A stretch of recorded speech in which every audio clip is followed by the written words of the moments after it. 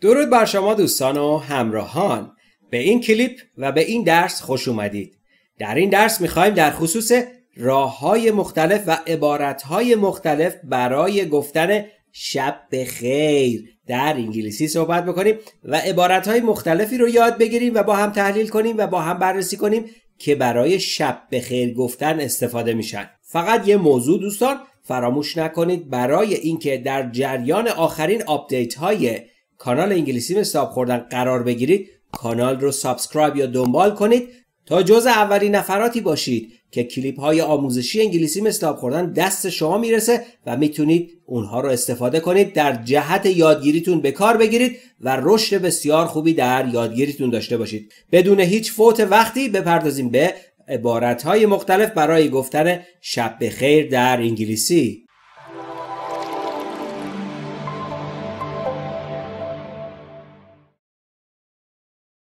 اولین عبارتی که همتون بلدید good night.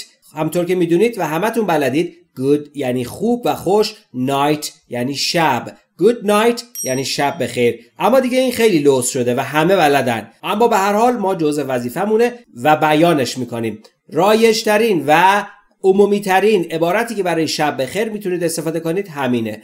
good night. حالا شما در قسمت کامنت همین رو بنویسید تا خوب یاد بگیرید. اگر بلدید OK اشکال نداره. برای اینکه مشارکت کنید در قسمت کامنت بنویسید و البته با صدای رسا و بلند بیان بکنید. صدایی که خودتون بشنوید نه اینکه تو دلتون فقط بیانش بکنید. فراموش نکنید این خیلی مهمه. Good night. Good night.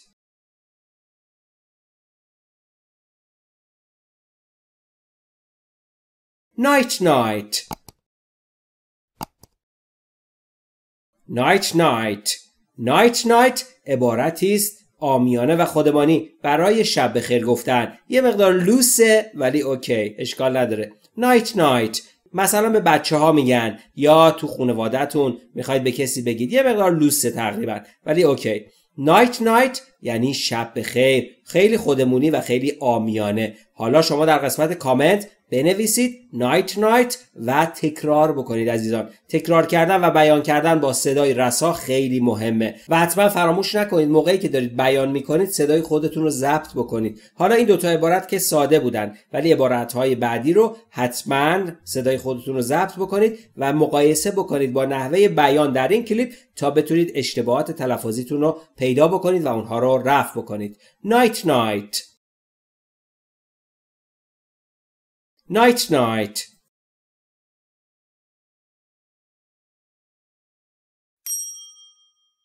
Sleep tight. Sleep tight.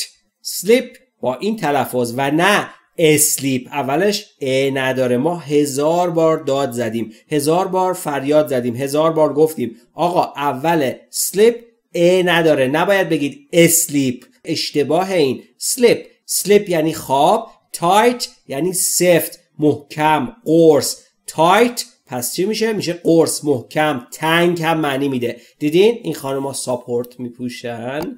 همینا بهشون tight هم میگن. پس چی؟ یعنی جذب و چسبان و خب دیگه بگذریم sleep tight یعنی محکم بخوابی قرص بخوابی. و یعنی چی؟ خوب بخوابی در گفتار عامیانه یعنی خوب بخوابی. Sleep tight. حالا نوبت شماست. حالا در قسمت کامنت همین عبارت رو بنویسید و با صدای رسا بیانش بکنید. تا خوب بتونید بیان کنید و مسلط بشید بهش. Sleep tight. Sleep tight.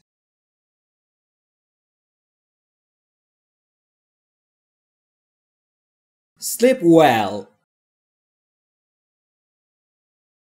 Sleep well. Sleep یعنی خوابیدن همونطور که گفتیم یا خواب. Well یعنی خوب خوش. Well دوستان در مورد تلفظ W دقت بکنید. بارها گفتیم ولی باز دیده میشه. زمانی که شما می‌خواید W رو در انگلیسی تلفظ بکنید لبهاتون به صورت بوسه. مثلا می‌خواید شب بخیر بگید یه بوسه هم از اون عزیزتون میچینید یه بوس ازش می‌کنید و یادتون باشه تلفظ W به همین صورته. Well لبها حالت بوسه یا حالت لوله ای و هوا خارج میشه. و و well. Sleep well یعنی خواب خوش یا خوب بخوابی. Sleep well. حالا نوبت شماست در قسمت کامنت همین عبارت رو بنویسید و بیان بکنید و تکرار بکنید. Sleep well.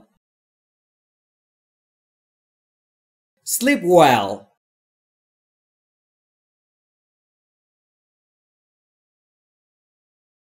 Sweet dreams. Sweet dreams.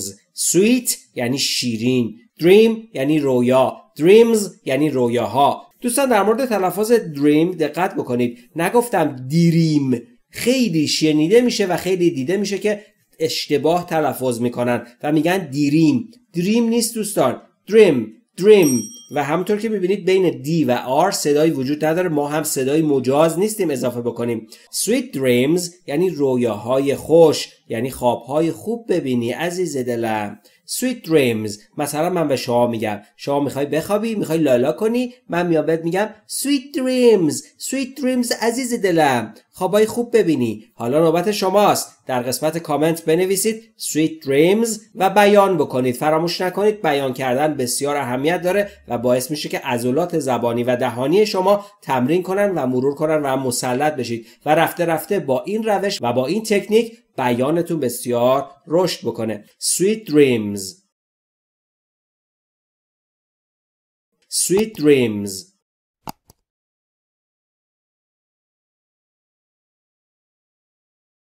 nighty night nighty night نایتی نایت باز هم یکی از اون عبارت های لوس و بیمزه است برای شب بخیر گفتن. حالا دلبری بچه کوچولویی فلانی چیزی. اگه باشه بهش بگیم نایتی نایت عزیزم شب بخیر نایتی نایت شب بخیر خیلی آمیانه و لوسه. حالا نوبت شماست. در قسمت کامنت همین رو بنویسید و با صدای رسا بیان بکنید و تکرار بکنید. نایتی نایت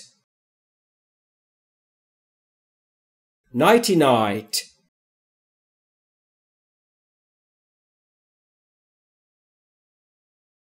Have a good sleep. Have a good sleep. have یعنی داشته باشی. در اینجا چون در ابتدا اومده فعل به حالت امریه. Have یعنی داشته باش. A article a یعنی یه دونه. Good یعنی خوب. Sleep یعنی خواب. Good sleep. دوستان در مورد تلفظ good sleep دقت بکنید. کلمه اول با دی تموم میشه و کلمه دوم با اس شروع شده و همونطور که گفتیم ما اجازه نداریم در ابتدای کلمه مثل sleep ا اضافه بکنیم و یعنی نمی‌تونیم بگیم اسلیپ پس باید بگیم good sleep ببینید به هم میچسبه. good sleep have a good sleep یعنی خواب خوبی داشته باشی. مثلا من میام به شما میگم خواب خوبی داشته باشید. وای چقدر لوس این درس. Have a good sleep. حالا نوبت شماست در قسمت کامنت بنویسید. Have a good sleep. و حتما فراموش نکنید که با صدای رسا هم تکرار بکنید عزیزانی خیلی مهمه. Have a good sleep. Have a good sleep.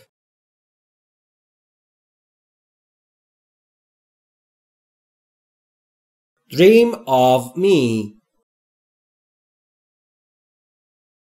Dream of me. Dream یعنی رویا پردازی کردن. و اینجا فعل جمله است و در ابتدا اومده. وقتی که فعل در ابتدا بیاد حالت امری داره. Dream یعنی رویا پردازی کن. خواب ببین. می یعنی مرا به من. Dream of me یعنی خواب منو ببینی. وای. Dream of me خواب منو ببینی. حالا نوبت شماست در قسمت کامنت بنویسید. Dream of me. میام شب تو خوابتون میترسونمتون. باهاتون انگلیسی حرف می‌زنم. فراموش نکنید که حتما بیانش کنید. Dream of me. Dream of me.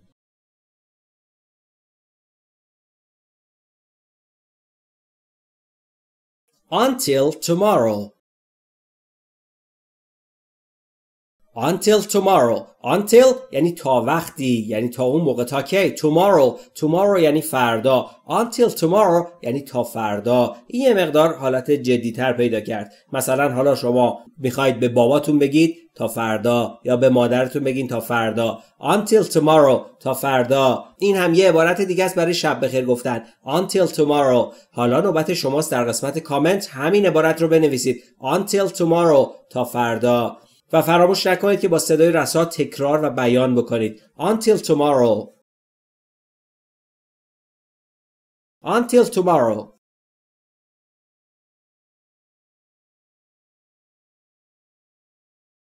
I will sleep with you in my heart.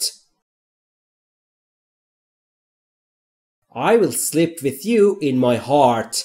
آخ آخ آخ چی شد چقدر رومانتیک داره میشه I will یعنی من این کار را خواهم کرد. کدوم کار؟ Sleep خوابیدن رو وای. میگه من با تو میخوابم. آره یا نه؟ چی میگه؟ I will sleep with you. یعنی with you یعنی با تو. I will sleep with you یعنی من با تو میخوابم. کجا؟ وای چی داره میگه؟ In my heart. در قلبم I will sleep with you in my heart یعنی در قلبم در کنار تو خواهم خوابید وای ته رومانتیک شد چیکار کنیم حالا I will sleep with you in my heart حالا در قسمت کامنت بنویسید و تکرار بکنید I will sleep with you in my heart I will sleep with you in my heart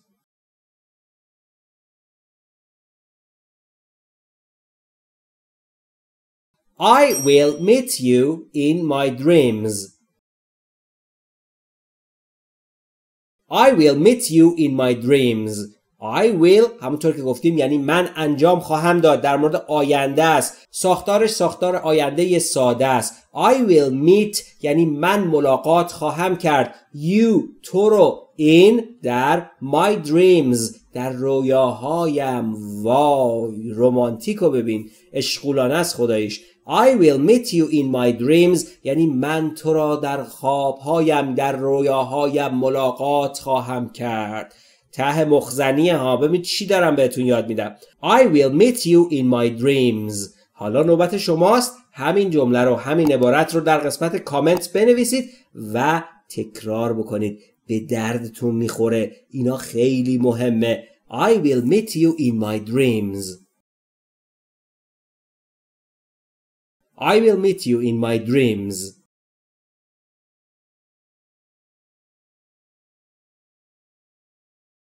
Good night, sweetheart. Good night, sweetheart. Good night همونطور که گفتیم یعنی شب بخیر. Sweetheart یک کلمه ترکیبی از ترکیب sweet یعنی شیرین heart یعنی قلب. sweetheart یعنی دلبر. وای وای وای. sweetheart یعنی دلبر. sweetheart شما یعنی دلبر شما معشوقه شما. good night sweetheart یعنی شب بخیر دلبر. شب بخیر دلبرم. شب بخیر مه‌جبینم. شب بخیر عزیز دلم. من به شما میگم لالا شب بخیر بوس بوس. Good night sweetheart. شب بخیر دلبرم. امیدوارم به جای باریک نکشه. Good night sweetheart. حالا نوبت شماست. در قسمت کامنت همین عبارت رو بنویسید و با صدای رسا تکرار بکنید. Good night sweetheart. Good night sweetheart.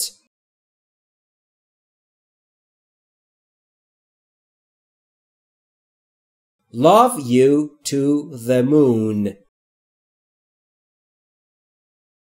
Love you to the moon. Love you to the moon عبارتی است که اولش یه آی هم داشته. یعنی I love you to the moon بوده. یعنی چی؟ I love you یعنی عاشقتم اینو که همتون می‌دونید. To the moon یعنی تا ماه. وای داره چی کار می‌کنه با طرف؟ داره حسابی مخشو می‌زنه ها. I love you یعنی عاشقتم to the moon یعنی تا ماه. I love you to the moon یعنی تا ماه دوست دارم.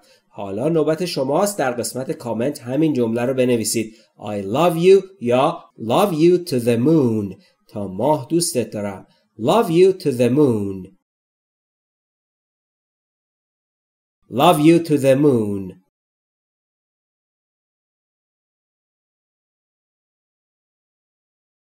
I will be dreaming of you. I will be dreaming of you. I will همونطور که گفتیم برای ساختار آینده استفاده میشه. Be dreaming یعنی در حال رویا پردازی خواهم بود و ساختار آینده استمراریه. I will be dreaming یعنی در حال رویا پردازی خواهم بود. رویا پردازی چی؟ of you تو رو I will be dreaming of you. یعنی من در حال رویا پردازی تو خواهم بود در خواب. حالا دروغ میگم ولی داره مخ می‌زنه دیگه. I will be dreaming of you. حالا نوبت شماست در قسمت کامنت همین رو بنویسید و فراموش نکنید که با صدای رسا بیان و تکرار بکنید تا خوب بتونید مسلط بشید. I will be dreaming of you. I will be dreaming of you.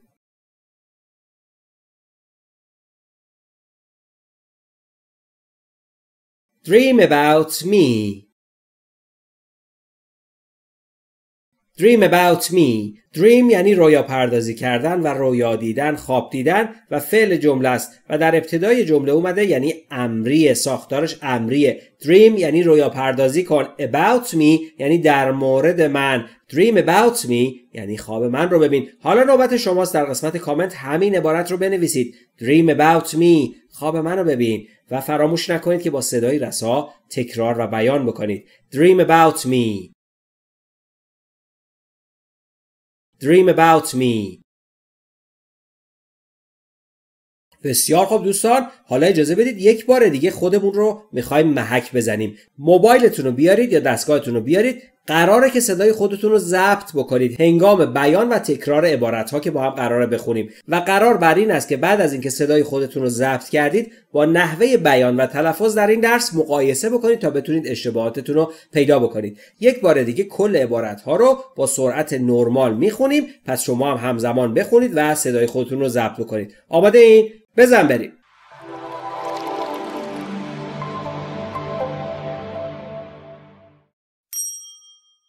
Good night. Good night. Night night. Night night. Sleep tight. Sleep tight. Sleep well. Sleep well. Sweet dreams. Sweet dreams. Nighty night. Nighty night. Have a good sleep. Have a good sleep. Dream of me. Dream of me. Until tomorrow. Until tomorrow. I will sleep with you in my heart. I will sleep with you in my heart. I will meet you in my dreams. I will meet you in my dreams. Good night, sweetheart. Good night, sweetheart. Love you to the moon. Love you to the moon. I will be dreaming of you. I will be dreaming of you. Dream about me. Dream about me. آفرین بر شما دم شما گرم کارتون بسیار درسته اونهایی که صدای خودشون رو ضبط کردن و می‌خوان مقایسه بکنن با نحوه بیان و تلفظ در این درس.